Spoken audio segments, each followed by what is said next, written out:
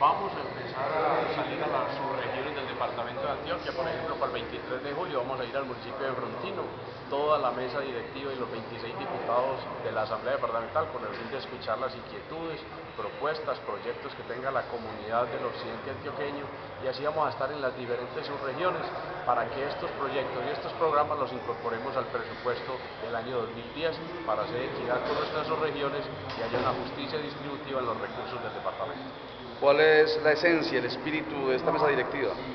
Es precisamente descentralizar y tratar de escuchar al máximo a los 125 municipios de Antioquia a ver cuáles son los proyectos y programas que requieren las comunidades con el fin de incorporarlos al presupuesto para, como te digo, haya equidad en la distribución de los recursos del departamento. Según ustedes, ¿qué diagnóstico hay sobre el departamento? Yo creo que el departamento viene haciendo una buena labor, pero hay que mejorarla. Hay falencias en la agricultura, hay falencias en obras públicas.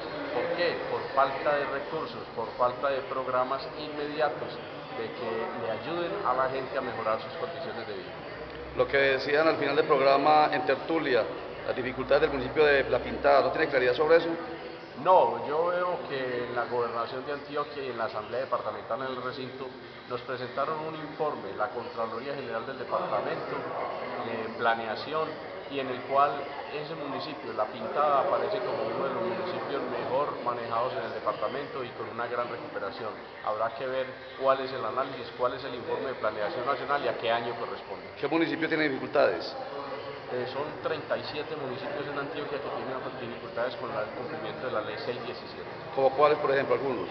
Eh, hemos visto municipios del occidente, hemos visto municipios del suroeste, hemos visto municipios del norte. En todo el departamento de Antioquia existen problemas por cumplimiento de la ley 617 y eso hay que mirarlo también a ver si es un problema de manejo de la transferencia de los recursos por parte de la nación también, o quién se está demorando con desembolsarle los recursos a los municipios, si es la nación o si es el departamento, porque los recursos no le llegan directamente a los municipios, sino que hay una intermediación, la nación los gira, el departamento los recibe y posteriormente los entrega a los municipios. ¿37 municipios se quedan en una lista o puede realmente pasar algo concreto? No, como... han mejorado, por ejemplo, nosotros vimos que en el año 2007 Valparaíso era el peor municipio del departamento de Antioquia y vemos cómo en el 2008